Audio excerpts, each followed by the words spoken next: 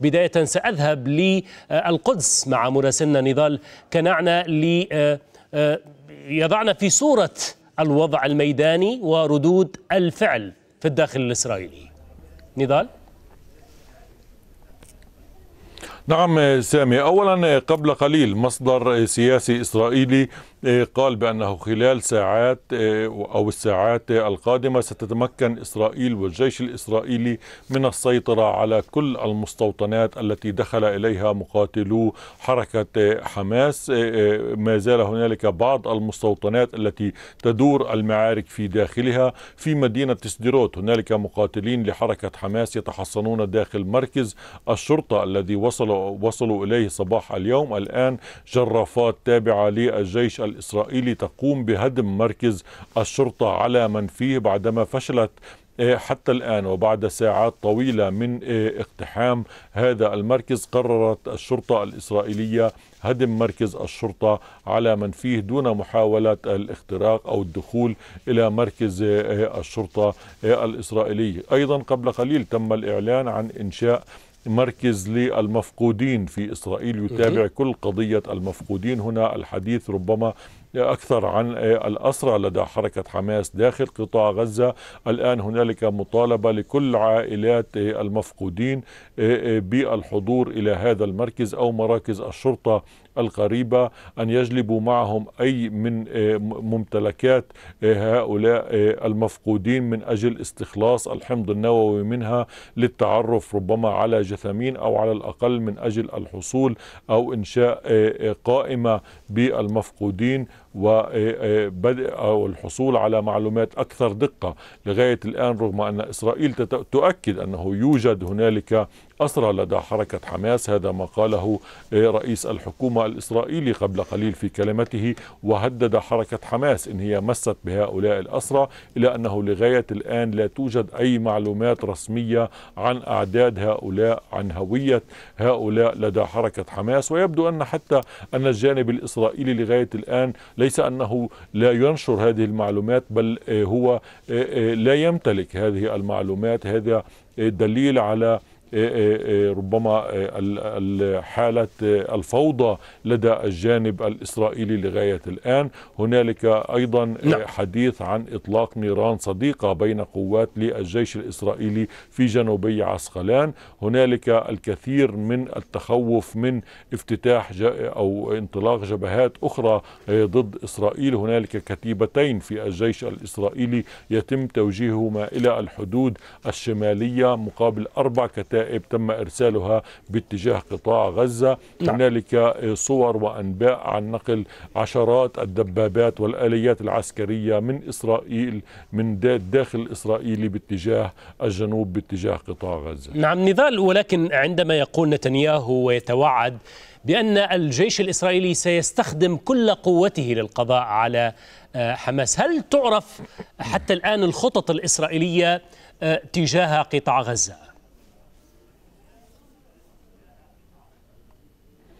اولا يعني ما ذكره رئيس الوزراء الإسرائيلي لغاية الآن هو إعلان نوايا هو ليس خطة عسكرية. هو تحدث عن مقام عن انتقام من قطاع غزة عن الرد على حركة حماس. لكن اللافت ما لم يقله نتنياهو. نتنياهو لم يتحدث مثلا عن القضاء على حركة حماس وبالتالي هو لم يضع اهدافا للعملية العسكرية. هو تحدث عن انتقام وبالتالي هذا يعني أنه حتى لو حدث دخول بر بري إلى قطاع غزة فالهدف ليس منه احتلال كل قطاع غزة وإسقاط حركة حماس عن الحكم في قطاع غزة لأنه بصراحة ليس لدى إسرائيل بديل يحكم قطاع غزة عن حركة حماس وهذا ما تقوله مصادر أمنية وسياسية في إسرائيل. بالتالي إسرائيل تريد أن تقصف تريد أن تدمر تريد أن تري أولا لمواطنيها قبل لمواطني قطاع غزة كمية الدمار كمية الرد الإسرائيلي على قطاع غزة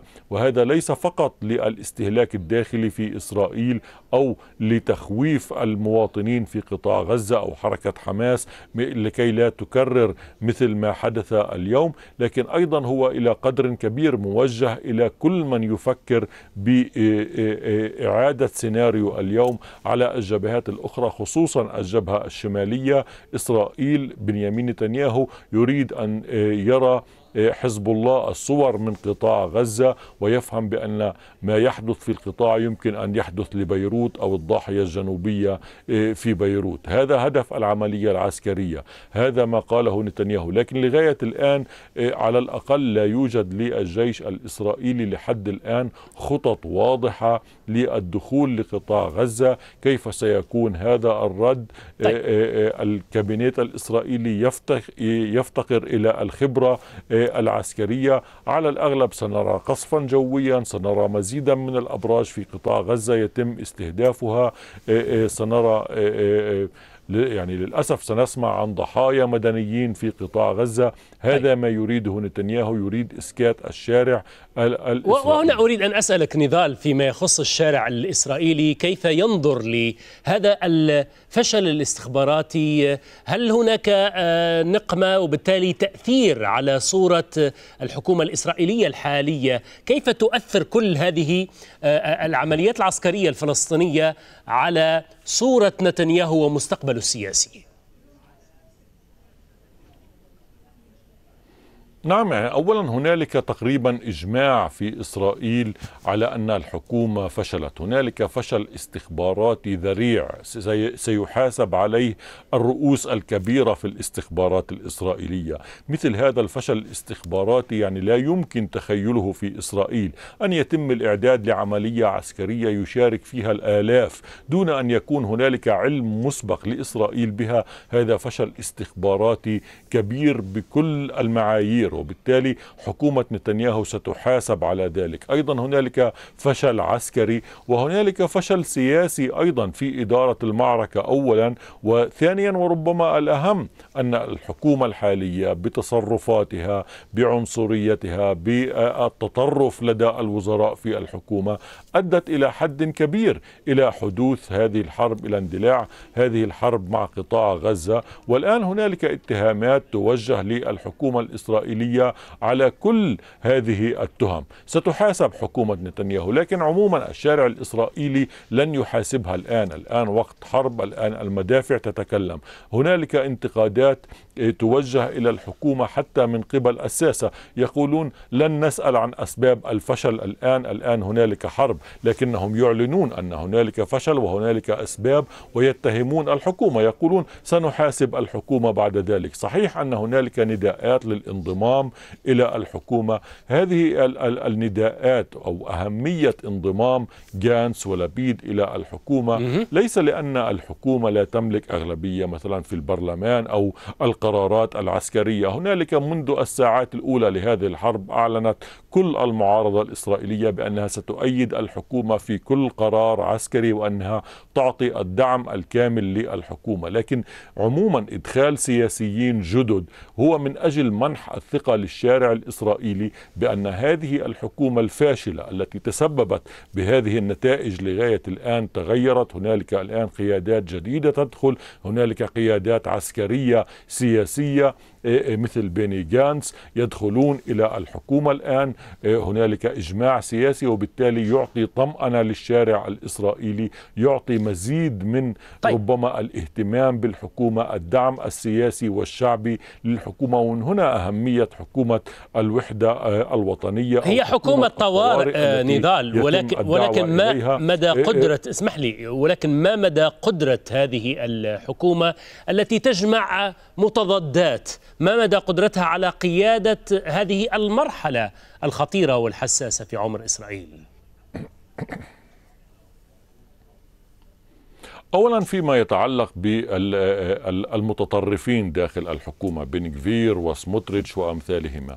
اولا هنالك مثلا يائير لبيد يشترط إقالة هؤلاء من الحكومة لدخوله في الحكومة. بيني جانس لا يشترط ذلك. لكن عموما في مثل هذه الحالات في حالة الحرب من يتولى قيادة الحرب هو المجلس الوزاري المصغر واحيانا يتم حتى تقليص المجلس الوزاري المصغر. يقولون هنالك المطبخ السياسي يشارك فيه بالعموم رئيس الوزراء وزير الدفاع آه، آه، والقيادات العليا في كثير من المواجهات مع قطاع غزة وحتى المواجهات الأصغر.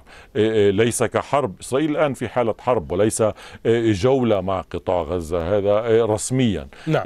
يتم استبعاد الوزراء المتطرفين عن اتخاذ القرار. دخول عناصر جديدة كبيني جانس ويائير لبيد سيحلون محل هؤلاء حتى وإن لم يقالوا من الحكومة والمشاركة. عموما دخول هؤلاء دخول المعارضة إلى الحكومة تعطي ثقة لرئيس الوزراء بأن الآن الجميع يشارك في الحرب وبالتالي إذا وجهت انتقادات لن توجه إليه شخصيا. الجميع مسؤول وبالتالي الجميع يتحمل المسؤولية ويتحمل النتائج. هذا يعطي متخذ القرار نعم في اسرائيل المزيد من الثقة بالنفس فيما يتعلق بالمحاسبة مستقبلا. شكرا جزيلا لك مراسلنا نضال كنعنة من القدس.